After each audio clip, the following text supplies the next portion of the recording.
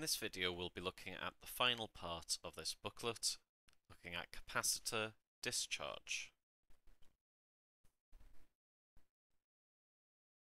Now capacitors have an exponential nature in both charging and discharging.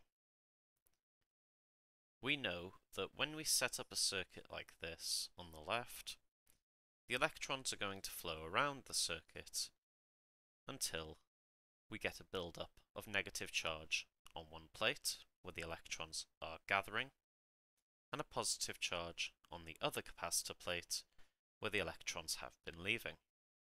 And that flow of current will gradually decrease as greater charge builds up, as more electrons on the negative plate repel incoming electrons. So you eventually hit a state of no current flowing as the capacitor is fully charged. Now if we swap out this cell with something that we can conduct through, such as a resistor, as there is no other power supply, the capacitor will now discharge, releasing all of its gathered potential difference and transferring electrons around the circuit from the negative terminal to the positive. And as a result, you gradually lose the negative charge and consequently the positive charge until no current flows. Now this means the current would have been higher at the start and at the end diminishing to nothing. And this is very much true when we are charging as well, as initially there was no opposition to the flow, whereas later that opposition increased as the negative charge built. Which means we can represent this graphically with a current against time graph to show this exponential decay, very much like you'd find for a half-life graph. So this graph is true in both cases for charging and for discharging. Now this implies that there will be other graphs that are not the same but for current, they are identical. So the other two graphs to care about are potential difference and charge. So let's have a look first in red with the idea of discharging, as this is the major one to look at. We know that initially we will have our maximum potential difference as the capacitor is fully charged and as it loses charge, loses potential difference. And that means it will gradually diminish.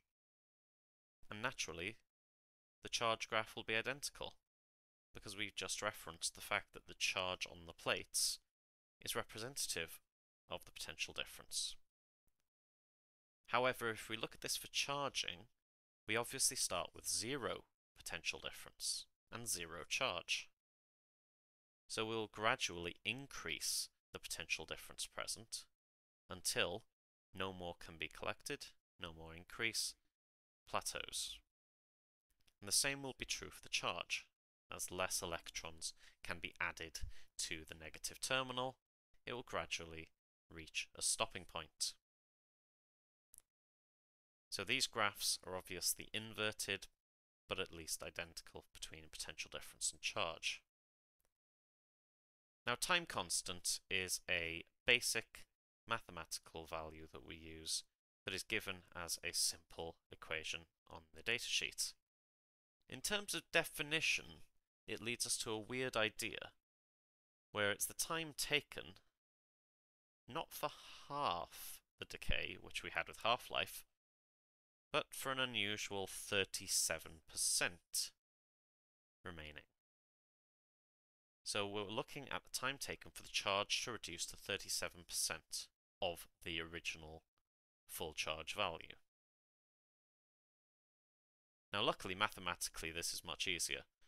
We can use this symbol tau, but the equation sheet doesn't reference it as such, it just references by name. But it is given as RC. So T, or tau, for the time constant itself, which is just measured in seconds, it's time. And that is the resistance in ohms multiplied by the capacitance in farads. So this is a very easy value to work with and it can be something you're asked to find. So in which case you need to remember that RC as a combination is the time constant.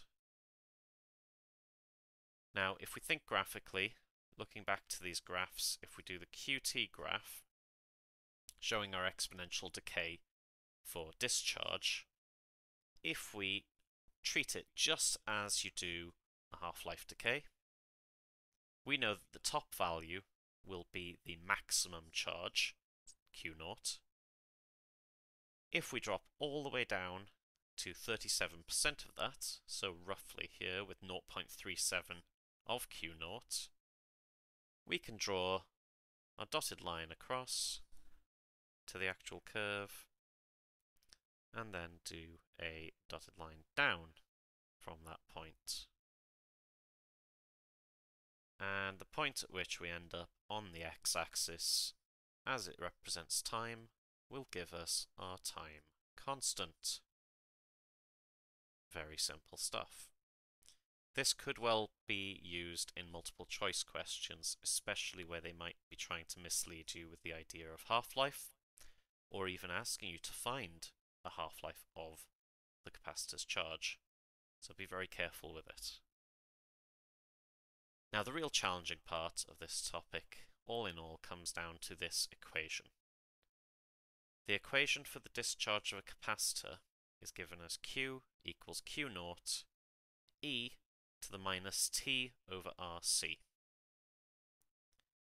So this is almost identical to the style of equations dealt with in the radioactivity topic, where Q is the charge at time t. So it's the charge we want to know right now at this point. Q naught represents the initial charge, which we can assume to be the full charge of the capacitor. And both are obviously measured in coulombs. T is the time at which we are taking the measurement. So it's the time you care about. And on the bottom we have RC. Well, we know that that is the time constant, resistance multiplied by capacitance. So we've got two time factors here showing what's going on. Now, you are also given an equation for the charging of a capacitor. Now, it makes sense to think about that as the total charge minus the equivalent of the discharge, so the amount of charge that hasn't yet happened. So this is given as Q equals Q naught, and then in brackets, 1 minus e to the minus t over rc. So if we expanded these brackets, we would have Q naught minus the discharge equation.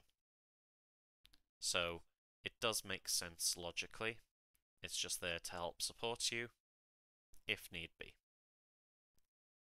Now very often what you're expected to find is either the time or the time constant. Now let's give time as the example one to show the use of logarithms here. If we rearrange ever so slightly by dividing both sides by q naught, we end up with q over q naught is e to the minus t over rc. Now through application of the natural log, we can eliminate the exponential factor and bring that power down. So we can say the natural log of q over q naught is equal to minus t over rc. If we multiply both sides by minus 1 over rc, we can get t on its own. So we know that the time that this discharge is carried out in is minus rc natural log of q over q naught. Now I don't recommend memorizing this, but knowing how to effectively use natural log for these sorts of equations, both for capacitance and radioactivity, is massively important for the harder hitting questions, the ones worth more marks. Now similar to the radioactivity topic, you are given one version for charge, but you can also use this equation structure for both current and potential difference. So I equals I naught e to the minus t over rc, and V equals V naught e to the minus t over rc. Very easy to use, you just need to remember that they are also applicable. And that's it.